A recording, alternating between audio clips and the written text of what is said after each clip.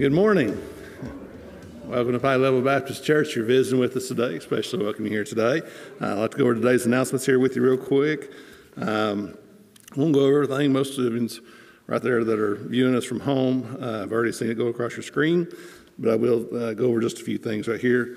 Um, WMU meeting uh, for you ladies right there on Monday, November the 1st at 7 p.m. in the Fellowship Hall.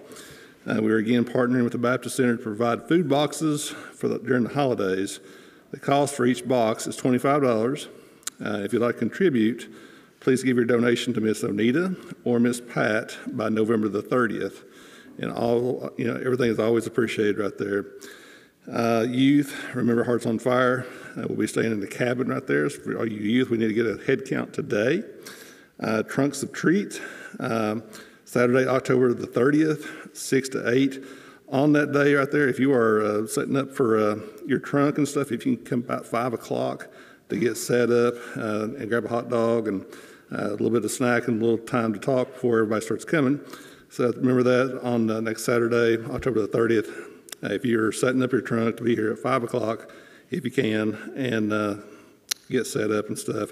But it'll be from 6 to 8 right there. Uh, got a little flyer right here. Miss Stacy wanted me to show you uh, this right here. Grab this right here on your way out. Uh, it's also got a uh, registration form on the back of it right there, if you don't mind to fill that out for her. Uh, let's see, Sunday morning prayer room is Amy Waters. We'll be in our prayer room today. Uh, so if you'd like to text a prayer request over to her during service, uh, her phone number 865 659 5147 Miss Amy Waters, 865 659 5147. Appreciate her being back there today. Uh, also, remember Operation Christmas Child. There are boxes out there that are available in the vestibule on your way out. Uh, you'll also find a list of what is needed in each box. Uh, fill the boxes uh, will be due by November the 14th. If you prefer to make a donation, you can do that. Uh, I'd be happy to purchase those items for you. You can see Miss Stacy Overholt or Miss Onita McCauley on that right there. Um, also, our discipleship small groups are back in session. If you don't already know that right there, uh, please remember those things right there. We have two groups meeting at the church, Sundays at 4.30 with Chris McInnes, and Wednesdays at 10 a.m. with Miss Carol Coulter, and one group meeting virtually using Zoom Tuesdays at 7 p.m. with Miss Melanie Effler. Anything else needs to be went over? I feel like I kind of went over it pretty quick. I was trying to rush up here right fast. Good looking crowd. God bless you all.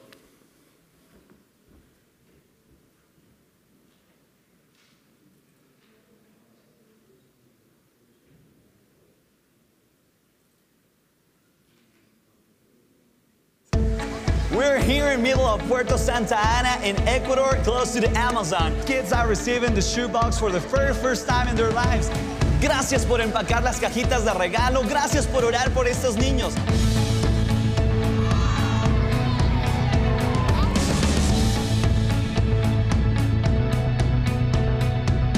I was 10 years old, I received an Operation Christmas Child shoebox in my hometown, Ambato, Ecuador. I remember my favorite thing in that box. It was like this black jacket, super cool, that I was wearing until I turned 16, I think.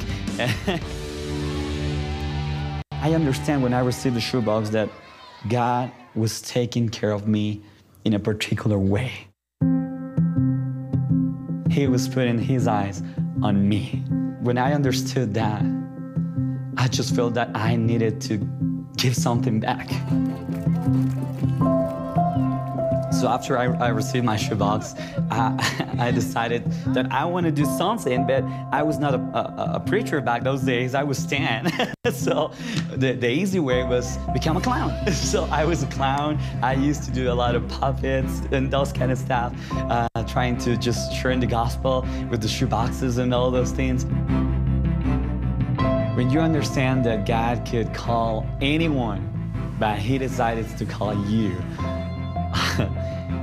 it makes me feel like I need to do my greatest and just put all my energy as the people that were part of the party that I was in when I was 10. I want to be the same thing now. I want to give my all my energy because you never know who around all of those children are becoming pastors, are becoming servants. We're not just giving gifts to the children. We are opening doors for them to understand that God has an entire life for them. God has a plan with every single children that is receiving this shoebox.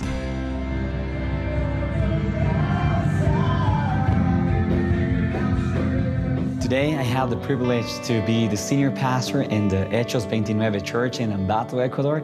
This simple shoebox gave me the chance to see my great father loves for me. And now that's the reason that all Sunday mornings, I'm so excited to, to go to the church and share the gospel and, and, and preach. It gave me the chance to see that there are many people just like me that are in need, maybe just of a hack or just to hear that Jesus loves them. And now I'm able to do that because someone just heard God's voice and put a black jacket on my shoebox. Man, it's just so crazy that people are just so willing to give something from themselves. But that is God. It's God working through people for other people. And for the ones that are packing shoe boxes, man, thank you very much. You are doing a huge, huge work just hearing God's voice.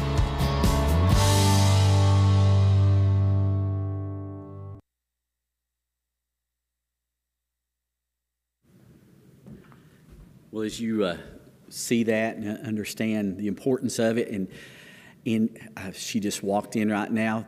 Miss Stacy, did you not tell me that you have committed us to 175 shoe boxes this year?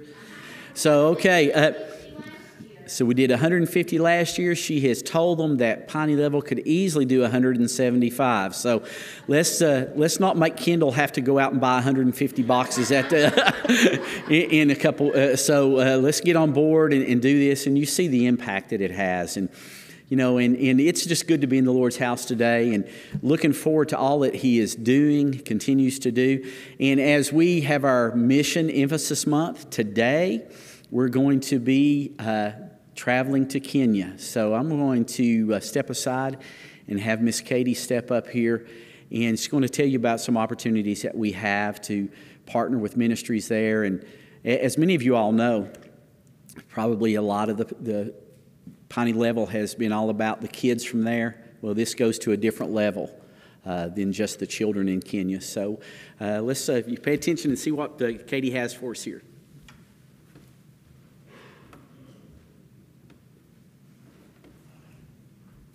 Good morning. I am just going to try to be brief. Um, I could talk about this for probably the entire day, but I won't do that. Um, I wish we were actually traveling to Kenya. Maybe we can make that happen soon. Um, but I'll just talk to you real quick about Thrift for Kenya. Um, that's a project that I started back in 2018. Uh, me and my mom and my grandma had just gotten back from Kenya for the first time. Mom's mistake because now I'm hooked and she doesn't want me to move there, but I will as soon as Gabe agrees. Um, so I started that as a way to raise money to go back to Kenya. That was my main focus when I got back after that two week trip. I was like, how can I raise enough money to get me and Gabe to Kenya next summer? So I got on my Instagram and I started asking different questions of what people would want to support, bake sales, different ideas. And one idea that I had was to buy thrifted clothes from the thrift store and resell them for a little bit more money and use that money to pay for my trip. When I was in high school, I wear clothes that are mostly from the thrift store, as you can see by my outfit today. And a lot of people were like, "Where could you? Where'd you get that? Where can I get that?" And I'm like, "Sorry, one of a kind. Got it from the thrift store." So I decided to use that to um, let people get the clothes that they wanted from the thrift store, but I was also able to raise money for Kenya.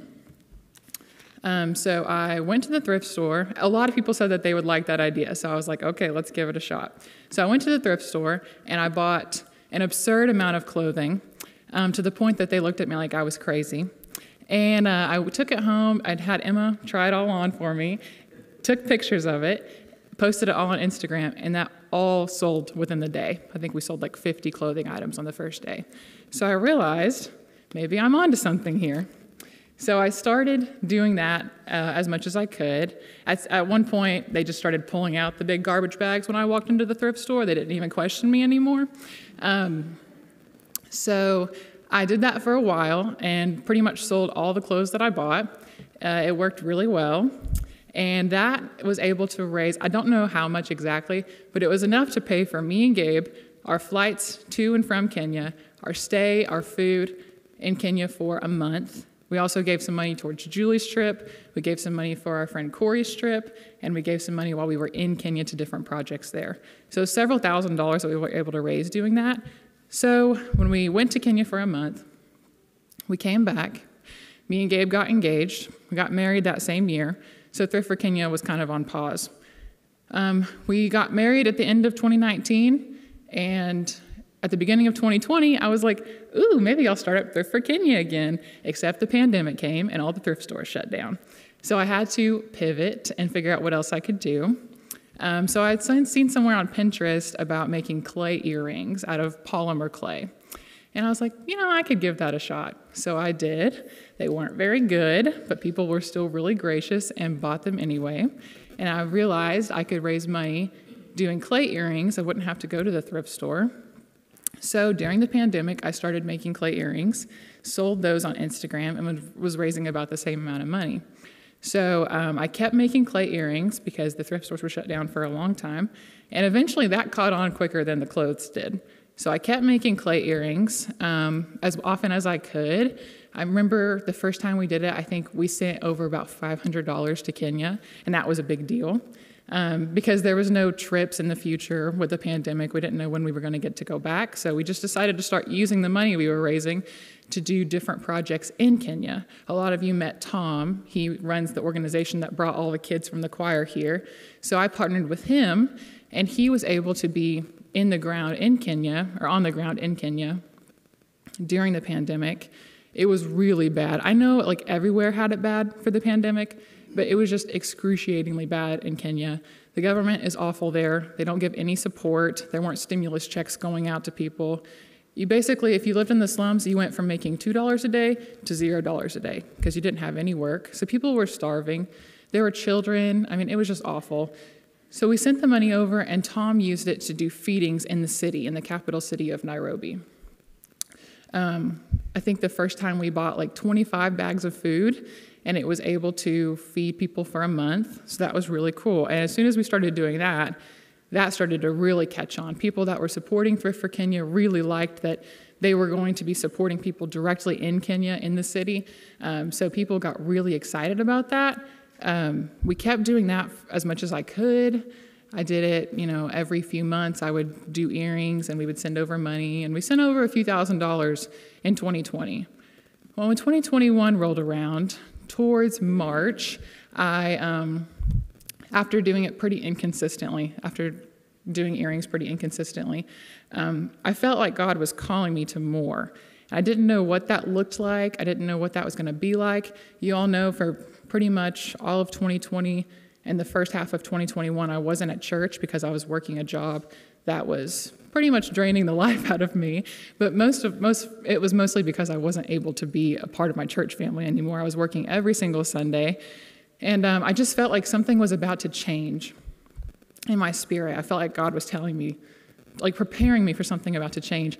So I texted Miss Brenda in March. I was just looking back at the text. I texted her in March for us to meet up. And we met up at the end of March.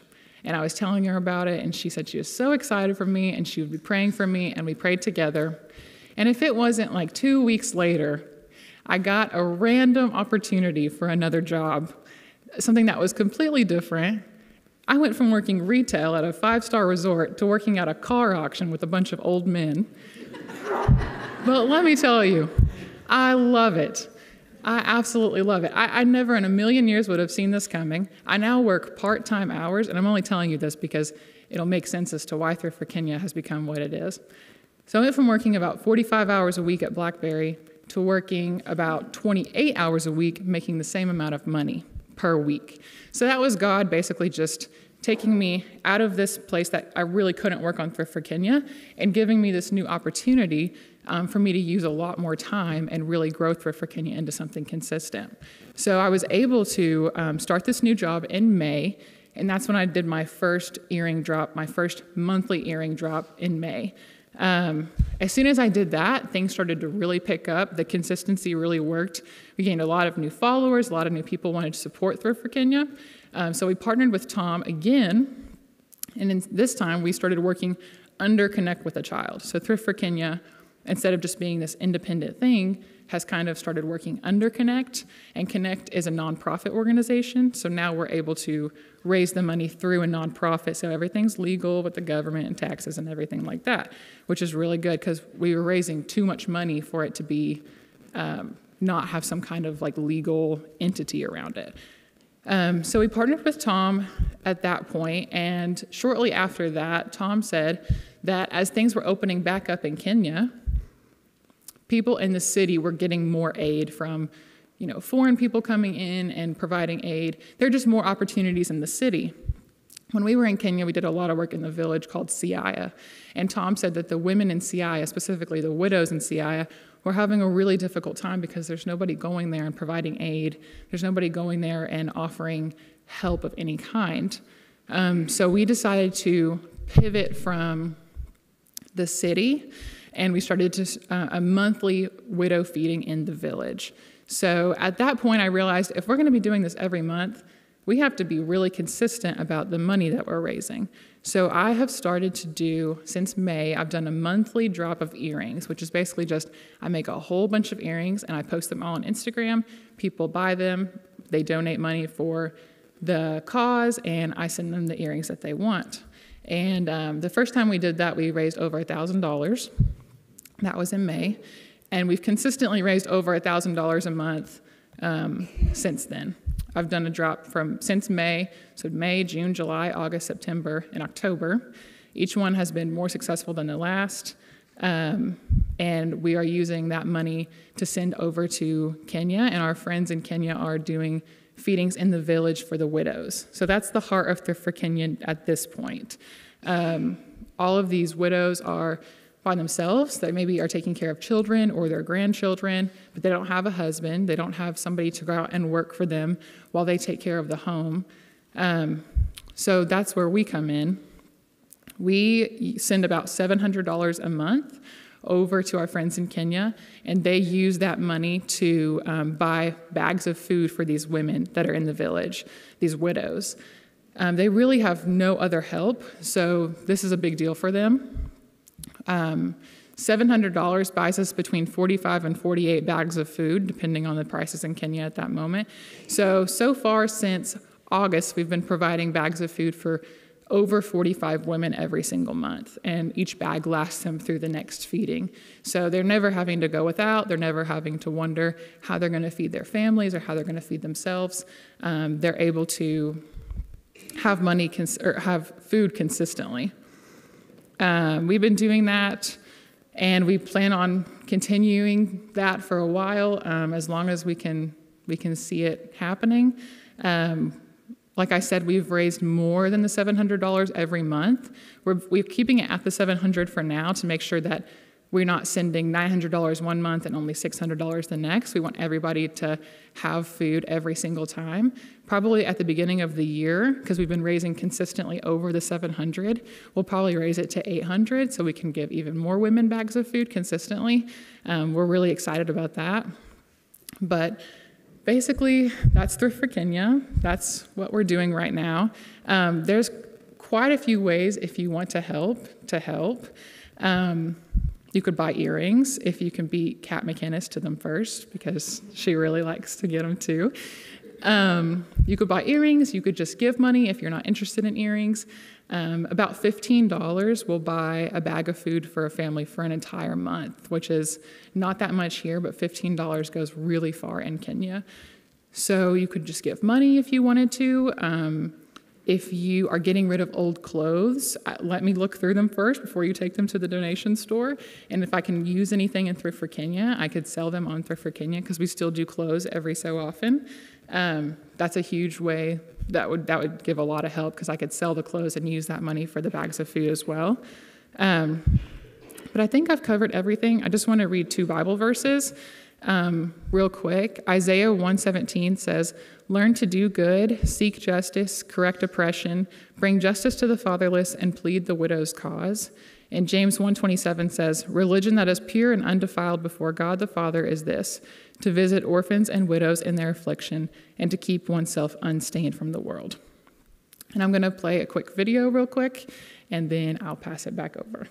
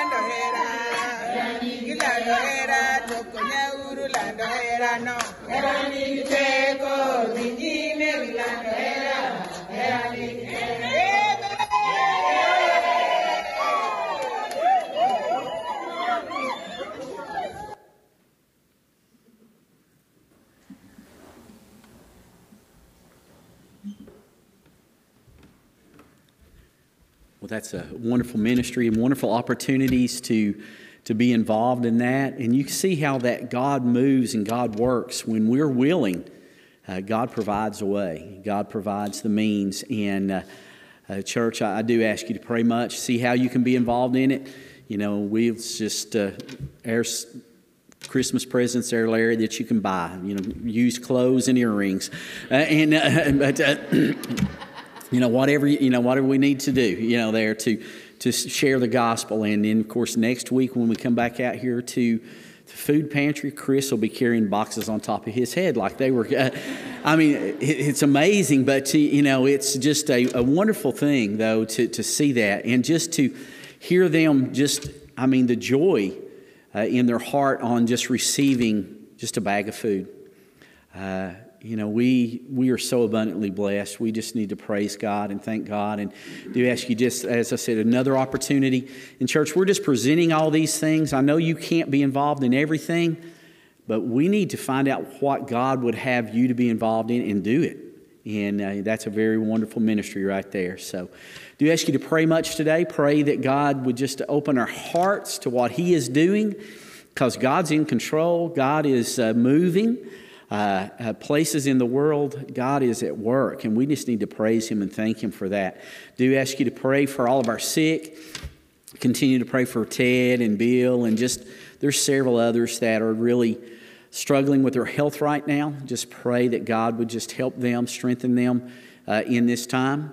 Uh, ask you to uh, pray for the service, you know, and just open your hearts to the worship. Here in just a moment, some of these young ladies there, and you know, Emma just gets used for everything. You know, she's a clothing model, she's a backup singer, so it's, a, yeah, she's useful. So, you know, let's just be useful uh, and uh, just praise God for that. But uh, join me as we pray today that God would open our hearts, that we would be obedient to His will, and, and just to worship Him and praise Him today. I, I'd love nothing better than to see our people standing up and, you know, you saw them swaying there. And, you know, why were they swaying? They, they were feeling what was in their heart. You know, we, we don't have to be so stoic. We can allow that joy to come out. I guarantee you, last night when Tennessee was ahead for just a minute, uh, uh there were people, uh, I mean, there were people going crazy, weren't they? Well, let me tell you something Christ wins for eternity. Man, we ought to be we ought to be going crazy about that. And if we're a child of God, we're on the winning side. There's nothing, no weapon that has ever been formed can, can prosper against us. We need to praise God today. So join me as we pray. Father, thank you. Thank you for loving us and taking care of us. And God, for just being who you are, Lord. And God, for just moving, Lord, as we, as Katie's testimony, Lord, when, when a heart begins to seek your way, Father, you begin to make a way. And I thank you for that. Just help us, God, to, to realize that there's nothing too big for you. God, there's nothing too big for our God. And Father, we pray today for all of our sick, for those that are struggling with their health, Lord. We realize that these bodies decay, these bodies, God, they, they wear out. But there's coming a day when we get that new and glorified body that, uh, God, we'll just praise you and rejoice forevermore. And we praise you for that. And God, I ask today that if there's one among us that does not know you, that today would be the day, whether they're here in person, whether they're out on the live stream, wherever they may be, Lord God, if they don't know you in a personal way as their Lord and Savior, that today would be the day that they would come into the family, take up their cross, deny themselves, and follow you. Father, we love you. We praise you. We ask, Lord, that you just prepare our hearts for worship, that we lay aside the things of this world and praise you for you and you alone are worthy. And all these things we would ask in Christ's name. Amen.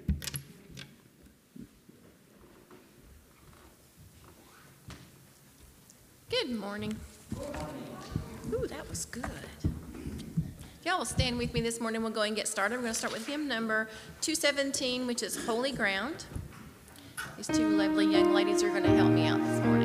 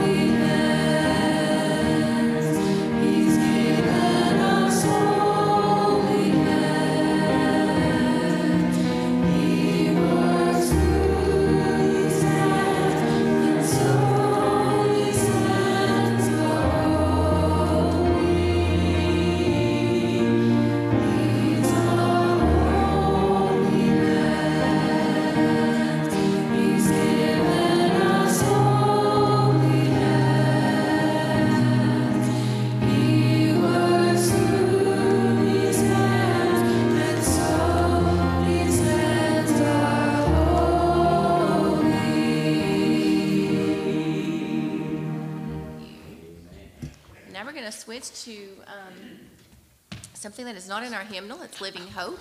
If you were here with us um, on Sunday night, um, the pastor's family, the Whitehead family, actually sang this song. And incidentally, Angela and I had already chosen this song for Sunday morning. So you got a taste of it last um, Sunday night, and you're going to get it again this morning. So it's Living Hope.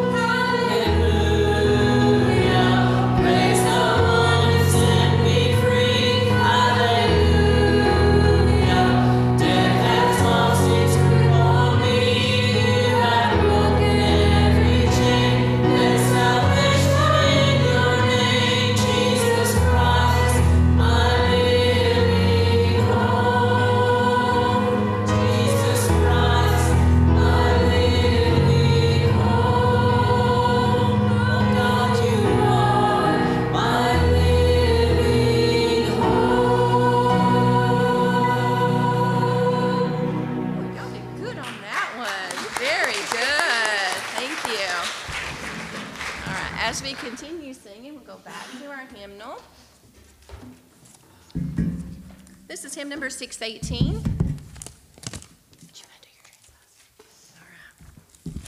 And this is in. His presence.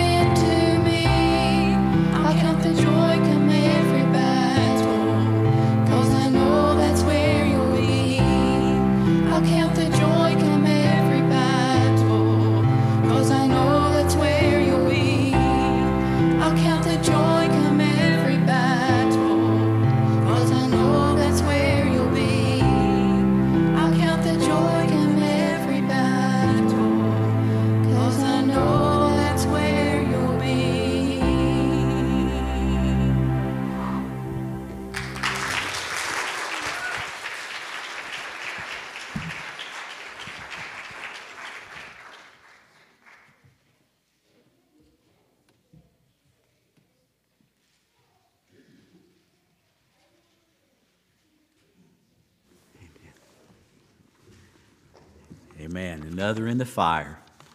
Uh, you know, it's been a good place to be this morning. Thank the Lord for what He has done, what He continues to do. And uh, as I was sitting there thinking about it, and, and uh, all these young ladies stepping up and stepping out and, and doing all this uh, out there, you know, from uh, uh, Katie and Thrift for Kenya, the, the young ladies up here singing, and you're a part of that, Laura, part of the young ladies. Uh, and uh, but uh, yeah, and I, I, but I was thinking, you know, young men, we uh, step up. It's time. It's time that uh, you know. I thank the Lord for what I see in the church, what I see the, the move. I, I, I see the the young people not saying this is going to be our church someday, saying we're a part of the church today. Today. And stepping out and, step, and doing the things, and, and it uh, gives me hope. Uh, church, you know, when we look around the world today, it's hard to find hope, isn't it? Uh, but when you look and see what God is actually doing, uh, there should be hope. Uh, and our hope is not uh, in the things of this world. Our hope is in Christ Jesus. And I, I praise the Lord for what He has done and, and what He continues to do. And if you have your Bibles, and I certainly pray that you do, let's turn to the 13th chapter of the book of Acts, verse 38 through 52. And, uh, uh, and, and I do ask you just to uh, pray much that I could give you exactly what God has given me. Last night, as I was laying in bed, and I was laying there, and uh, scripture was going through my mind and, and through my heart, and, and, and, I was thinking, you know, God, are you trying to change the direction you want me to go? But uh, and actually, He was just kind of adding to that. So uh, after I read this scripture, and I'm going to tell Katie now, so uh, she'll be have a heads up.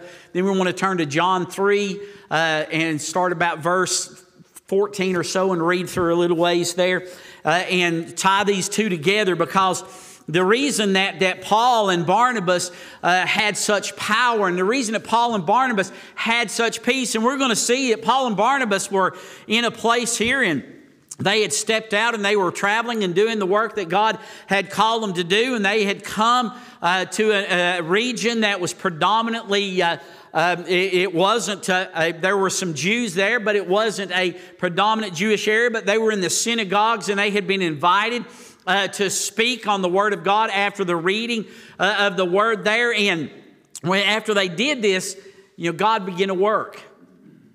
But I want you to understand, church, that even though sometimes things look like it, there's rejection and there's no hope and there's no help, uh, we're going to turn back over to John in the third chapter and make you and, and look and see and realize why uh, that these men, as they left this place, they left rejoicing even though you would think that they would have left all depressed and downtrodden.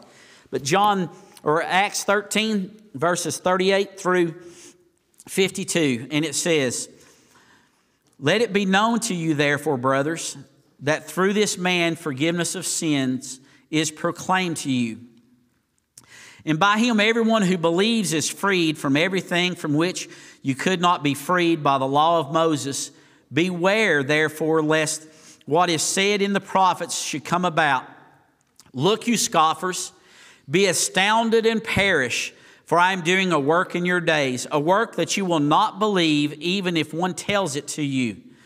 And they went out, and the people begged that these things might be told them the next Sabbath. And after the meeting of the synagogue broke up, many Jews and devout converts to Judaism followed Paul and Barnabas, who, as they spoke with them, urged them to continue in the grace of God. The next Sabbath, almost the whole city gathered to hear the word of the Lord. But when the Jews saw the crowds, they were filled with jealousy, began to contradict what was spoken by Paul, reviling him. And Paul and Barnabas spoke out boldly, saying, It was necessary that the word of God be spoken first to you, since you thrust it aside and judge yourselves unworthy of eternal life, behold, we are turning to the Gentiles. For so the Lord has commanded us, saying, I have made you a light for the Gentiles, that you may bring salvation to the ends of the earth. And when the uh, Gentiles heard this, they began rejoicing and glorifying the word of the Lord. And as many as were appointed to eternal life believed. and the word of the Lord was spreading throughout the whole region. But the Jews incited devout women of high standing and the leading men of the city, started persecution against Paul and Barnabas, and drove them out of the district. But they shook off the dust from their feet against them and went to Iconium and the disciples were filled with joy and with the Holy Spirit. And there, that very last verse, I want you to uh, see it says, And the disciples were what? They were filled with joy uh, and with the Holy Spirit. And as I was uh, reading this and thinking about it and praying about all this, I thought, you know, in our world today, as we look around, there's not a whole lot of joy in the world, is there? Uh, there's not a whole lot, it seems like, to be excited about not a whole lot for the world to look and, and, to say, well, uh, there, there's hope. But I want you to turn now over to John 3, and we're going to start about verse uh, uh, 15, uh, 14, I guess. So I'll start on verse 14 and read down through a very, uh, for, through a few verses of Scripture, church. And I want you to understand why uh, that we should have hope. You know, Paul and Barnabas were there, and they had been preaching Christ Jesus from the Old Testament. Uh, the people had desired to hear more about this. And, but, you know, church, you make no mistake, anytime that God begins to work, you know, I tell any young preacher, any young person that wants to go out and do missions, any older person that wants to do these things, that make no mistake, when you step out for Jesus, attacks will begin to come. Uh, when you step out and you begin to work, because uh, Satan doesn't have to attack those that are not doing anything. It's only those that are doing something for the Lord that Satan sees worthy to be attacked. Only those that are stepping out and trying to share the gospel. Paul and Barnabas were going into this region there uh, and they begin to preach Jesus Christ, uh, uh, the crucified and resurrected as the only hope of salvation. Uh, they begin to preach the fact that there was punishment for those that did not believe in Christ Jesus. Uh, and the people got angry and began to uh, incite it, you know. And as I was reading that, talking about inciting what it, did it say? The prominent women, the uh, people of esteem, the people of authority, the people of influence. You know, it made me think about our world today. Uh, we've got people in our world today that are what? They're influencers. You know, Katie, as, as a lot of us, we don't understand all the new technology. She's talking about Instagram. You know, you talk about Instagram and Facebook and Twitter, and I think there's probably a dozen other places there. Uh, TikTok and, and, you know, all, I don't know. I know some of the words. I don't know what they are. Uh, uh, but as you look at these things, and then people, uh, they make their living by being influencers. They go out there and they get a brand, they get something, and they go out and they start – advertising, if you would, or marketing and doing these things. They're influencers. And we think, well, that's a new thing. What did it say here?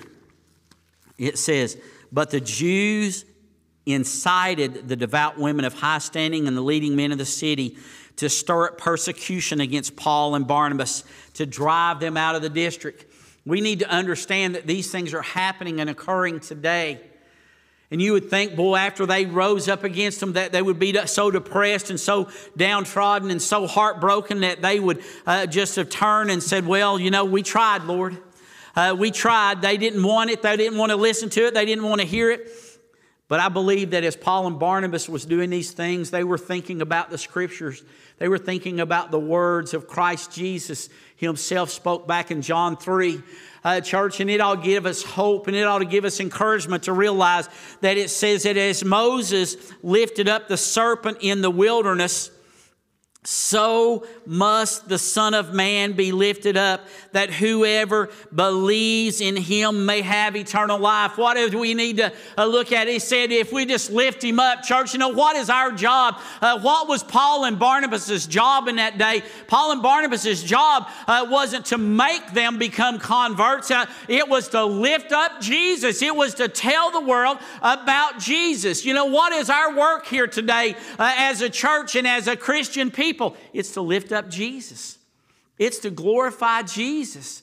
Uh, it's to praise his glorious name uh, and to realize that when trouble comes, uh, uh he said, I'll never leave you and I'll never forsake you, that I'll be with you always. Uh, uh, it's to realize, church, that we have a God that the Bible said is the same yesterday, today, and forevermore. If he was the very same one that was there with Paul and Barnabas when those people were incited against them and drove them out of there, how could they rejoice?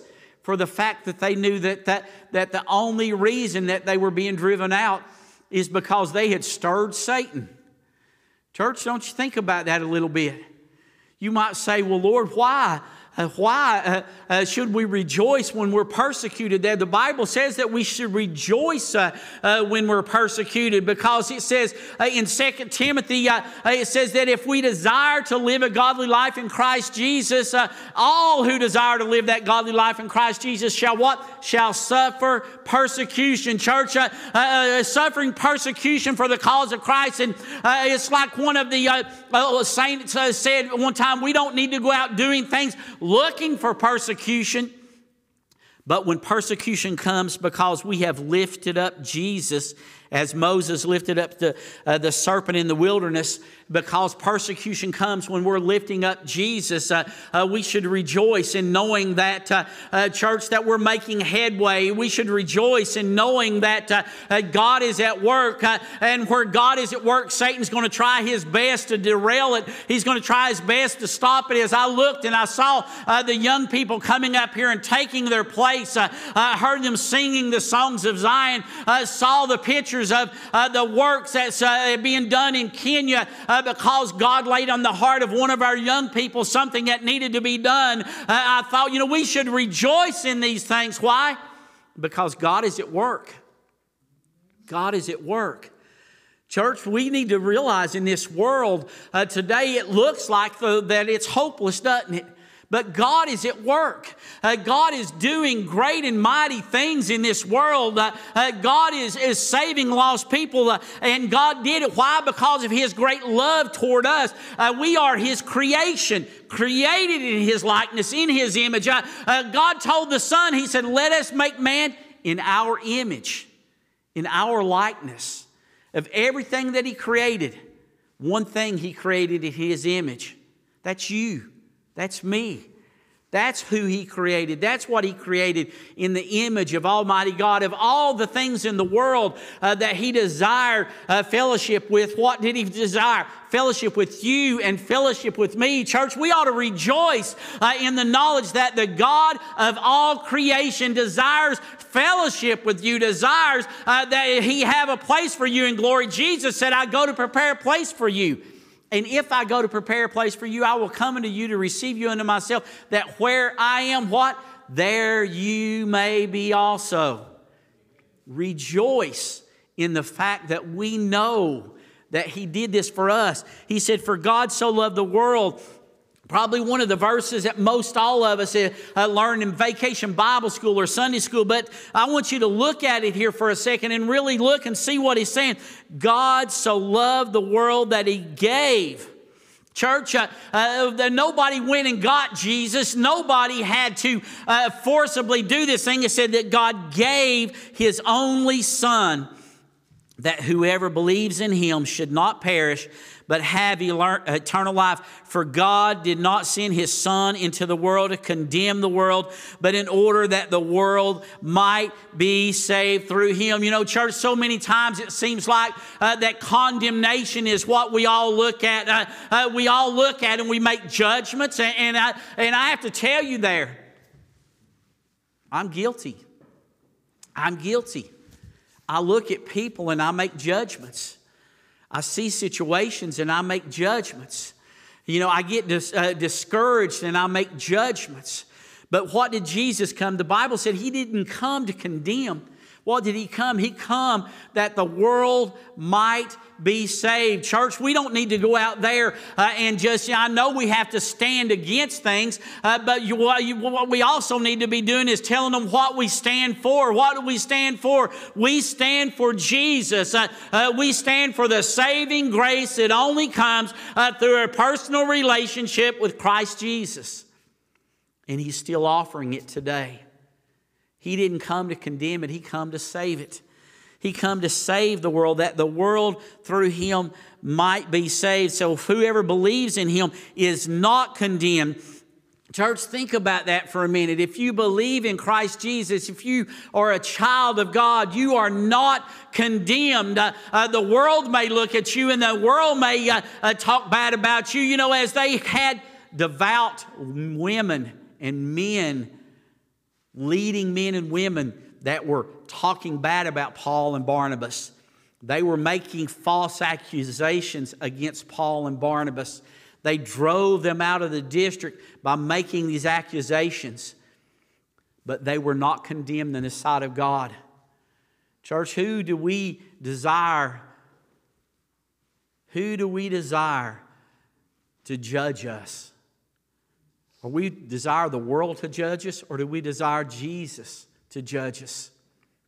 The Bible says that it is once appointed unto man to die, and after this comes the judgment. We need to understand that, that judgment is coming. You know, Hebrews 9 27 says, And just as it is appointed for man to die once, and after that comes judgment.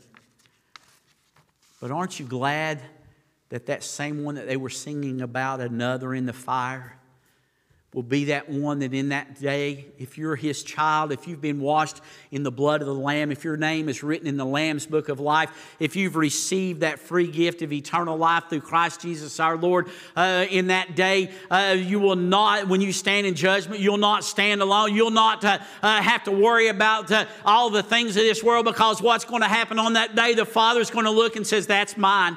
Uh, I died for him. He accepted me as his Lord and Savior. I wasn't perfect didn't live uh, the life the way that he should every day, but he's mine. Hope today, church. What is our living hope? You know, I was just thinking as I was going through the music there, our living hope is in the fact that we're in his presence. In his presence. You're never alone. You're never without him. There's not a place you go. There's not a situation that you face that He's not right there with you, that He's not there every step of the way. The promise that we have. Paul and Barnabas, they could be, they could rejoice in the fact that even though they shook the dust off of their feet, because what did he did they say there? It said he shook the dust off. Uh, read there, it says that they, these people, counted themselves unworthy. These men, these women, these people in the synagogue, these Jews that should have been the most rejoicing of all, but because of all of the things that God was doing because of the work. In the 47th verse, it says,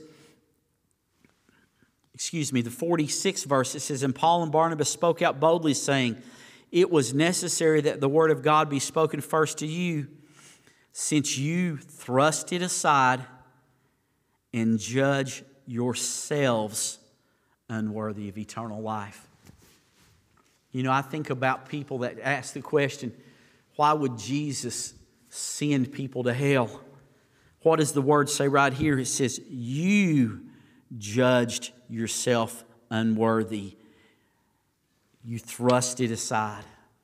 You rejected the Word of God. You rejected the call of Christ Jesus. You denied it. And, and I know sometimes we get caught up in, in, in missions, and, and I'm all, all, about missions. And, and I've heard this uh, question a lot recently. You know, what about all those people in all these unreached nations and all these uh, places that haven't heard the gospel? Uh, and church, sometimes uh, I believe Satan gets us caught up in, uh, in chasing after those questions and chasing after those things uh, that we forget all about the people out here that we are supposed to be sharing the gospel with so that they can make the decision that they either follow Jesus or they thrust it aside. Uh, in church, it should never be uh, that the people we come in contact with uh, say, You never told me about Jesus. We need to give them the opportunity. We need to tell the world. We need to tell them about who Jesus is. For it says For whoever believes in him is not condemned, but whoever does not believe is condemned already because he has not believed in the name of the only Son of God. And this is the judgment. The light came into the world, and the people loved the darkness rather than the light because of their works were evil. Church, we look in our world, uh, and why uh, did these uh, uh religious leaders uh, come and rail against Paul and, and Barnabas? Why did these religious leaders uh, begin to dispute the word of God that was coming from Paul's mouth? because their works were evil, and the light of God's word shows the evidence of the evil works of the life. Why is it that it seems like it is getting harder and harder? And why the Word of God is, is trying to be stopped in our nation and in places around the world? It's because God's Word shines light on the evil works of men. Why is it that nations that for a while were allowing borders to be open to allow the gospel to be preached freely, uh, when they begin to see uh, the, the men and women to come to Christ and begin to their lives changed and begin their uh, evil deeds uh, uh, begin to be shown uh, because of the light of the Word of God, begin to show the evilness of the leadership, begin to show the evilness of the things that they were doing. and what did they want? Instead of turning their lives over to Jesus, they wanted to sh- shut out the light so they could continue to do their evil things in darkness. I had a young man at the jail ministry one time tell me, he said, You know why we do all the things we do after dark? He said, Because if we really looked at what we were doing, if we really allowed the light of day to shine on the evil and the wickedness and, and, and the, the ugliness of what we do, we'd have to think about it a little while. He said, It's much easier to do these terrible things in the dark than it is when you see the light of day. It's much evil, easy to be evil and to be wicked and to hurt and to harm people uh, when you don't see them than it is when you look them in the face and you see them. It's a, a much easier to live that life when you don't think that the people that you love and care about are seeing your evil deeds and seeing the things that you're doing. These men that were had evil deeds instead of embracing the Word of God, they've tried to run Paul and, and Barnabas out. And they left rejoicing. And, you know, and as I was thinking, church, you might say, well, preacher, you know, that, that's a hard thing. But I was reading some statistics. And, church, we've got hard times coming. But you know, when the church has grown the most, when the gospel has grown the most, in the times of greatest persecution. In the world today, the three regions of the world that the gospel of Christ Jesus, that Christianity is growing the fastest, uh, is in A- Africa, South America, and in Asia. And you know by uh, Open Doors USA Ministry, the 50 most dangerous places in the world uh, to be a Christian, uh, every one of them fall in either Africa or Asia. The places that it's the most dangerous to be a child of God, it seems like is the place uh, that God's Word is prospering, that God's Word is growing, uh, that the Word, that, that as Satan fights against it, God's Word is going going out stronger and greater. In church, we look in our country, we've made it pretty easy to be a child of God or to profess of being a child of God. We need to stand up and say, Lord, whatever it is we have to face, Lord, we're going to face it for you. Why? Because God so loved us that He sent Jesus. And Jesus didn't come to condemn us.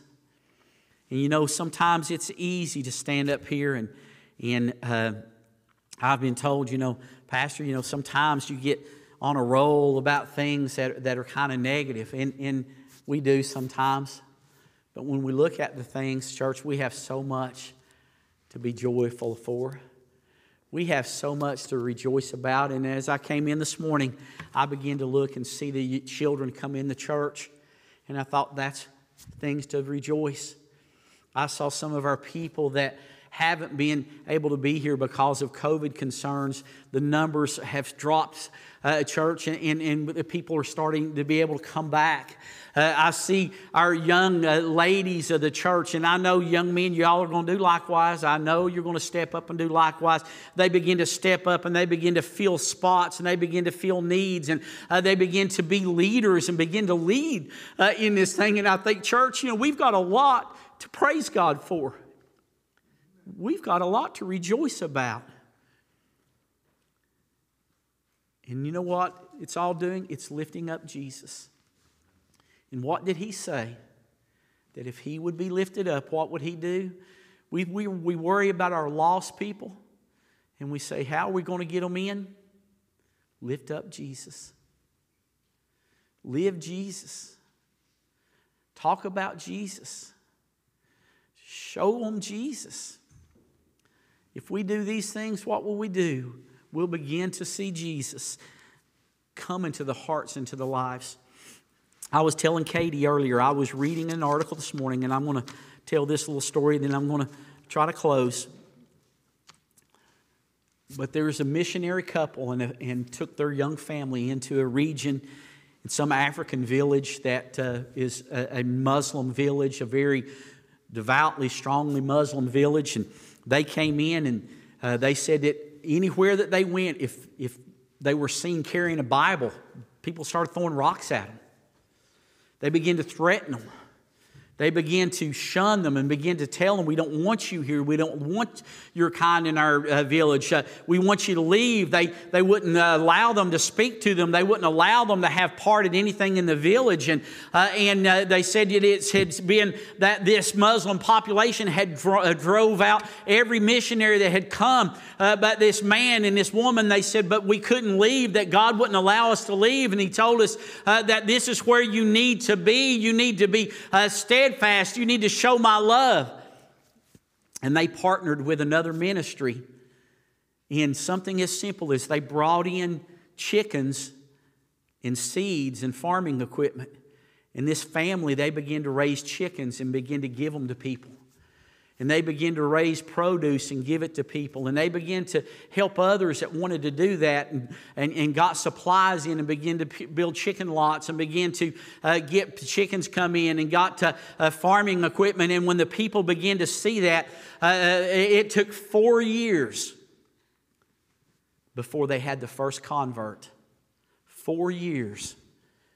And as of now, they have one family that has come to Christ. But they said every bit of the persecution, every bit of the trials, every bit of the rocks being thrown, every bit of the threats being made was worth it if they've only are able to reach that one family. But they said that they know that by the grace of God, they'll reach more. Because God has said, This is where you need to be. This is where you need to work. This is where my name needs to be proclaimed in church by whatever means that God leads us to and whatever means that God gives us opportunity, we need to be steadfast. We're living in, in hard times in our country. But, church, it's not been four years since we've seen somebody come to Christ. When you walk out the door carrying this book in your arm, there's nobody out there throwing rocks at you. We need to be steadfast, unmovable, always abounding in the works of the Lord, always sharing the love of Christ Jesus. For if we be not weary in well doing, it may be four years. That person that you're witnessing to today, because I know some of you all have told me you've, you've been talking to people, and, and, and, I know some of you have gone and, and asked them, Can I just read scripture to you? Some of them uh, you're inviting to church, and you're inviting to our events, and you're inviting, and, uh, but church, be not weary in well doing, because in due season, uh, you will reap the rewards if we faint not. Uh, uh, in due season, we'll see the work of God uh, come uh, and begin to bear fruit if we'll not give up. We've got a lot to be praising God for. We've got a lot to glorify Him for. We've got to, a lot to lift up our hands For these hands were what? They were made to, holy hands were made to work for you. Church, I praise God today for what He's doing. As Brenda can tell you, uh, I, I have gone through a period where I was just like, God, you know what's going on? Lord, it seems like the world is going crazy. Uh, I had to get off of social media and off of uh, the news networks for a while. But when I did that, I began to replace it with more and more of this and re- reading more and more encouraging things. Church, God's doing great works in this world. He's still in control. He's still saving lost souls. He's still lifting people up in our communities. He's still healing sick. He's still opening blinded eyes. He's still doing things that can only be attributed to the fact that it's God that's doing them. We need to rejoice. We need to praise Him and worship Him. If you'll come and get us a song, the Lord's about done with us. I pray today that, that you rejoice in the Lord, that you leave this place realizing that we've got a lot to rejoice about. Are you saved? Two of you. Are you saved? There you go. Do you need any more to rejoice about? Do you know who is taking care of every need that you have? He said he would supply our needs according to his riches and glory. Now, he didn't say, I'll give you that new uh, Mercedes. He didn't say, I'd give you that new bass boat. He said, I'll supply your needs. He supplies our needs, church. He, Jesus came to seek and to save that which is lost. What did he say for us to do? Share my gospel, love my people, do the works that I've called you to do, rejoice. You know, it, it, today I, I look at it in church, when we leave this place, if you can't say anything else, but if you're a child of God, you should leave here rejoicing and say, What a great, great God we served. Because did you deserve salvation? I didn't. I didn't. Was I good enough? Never have, never will be of myself. But I'm so thankful that when that day comes, there's a song that Brenda used to sing. In the words of it says that when he sees me, he sees the blood of the Lamb. He sees me as worthy and not as I am. We ought to rejoice for that, that He doesn't look and see those thoughts of condemnation that we have, those thoughts of, of anger and of worry, and, and so many things that, that as a child of God we've got no right, no reason to be doing. But He sees us as worthy. And why are we worthy? Because He is worthy. And we've been adopted and we've been bought and we've been washed by the blood of the Lamb. While we stand and sing a verse of a song, if you need to pray today, if you don't have a reason to rejoice, you need to come to this altar. Because as I said, if you've been washed in the blood of the Lamb, you got a reason to rejoice. If you don't know Jesus as your Lord and Savior, I, I beg you, please don't leave this place without Him today.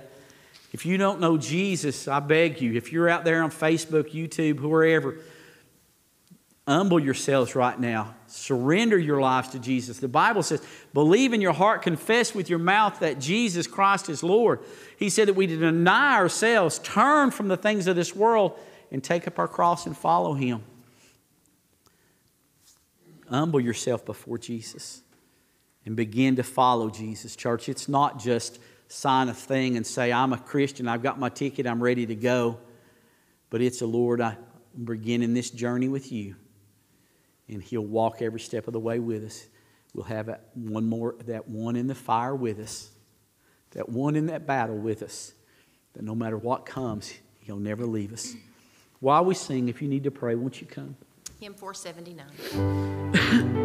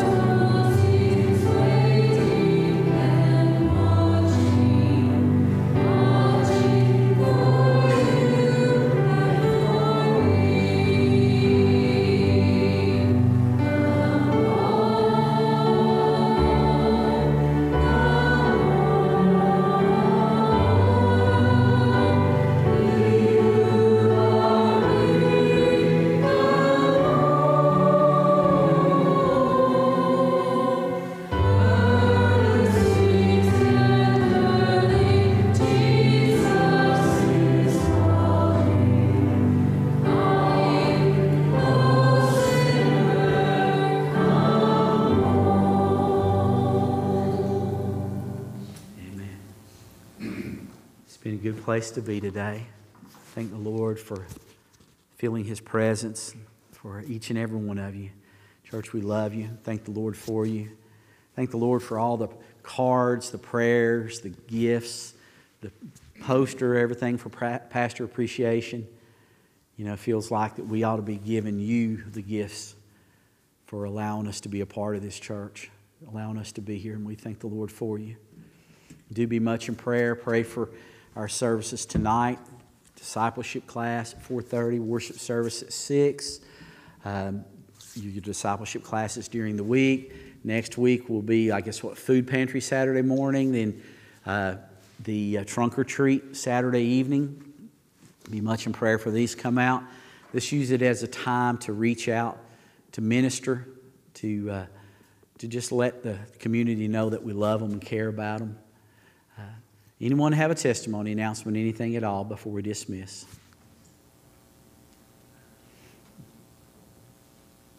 All minds and hearts clear? Youth choir right afterwards. So be sure and come up, and help them out, uh, be a part of it. And uh, I do appreciate the young ladies for stepping out and being so willing to help uh, in the singing and in all. It's just it's such a blessing to see them up there and see them step out and do it. Um, it's a just praise the Lord for it. You know, God has got, uh, He's in control. All minds and hearts clear. Brother Chris, would you dismiss us, please?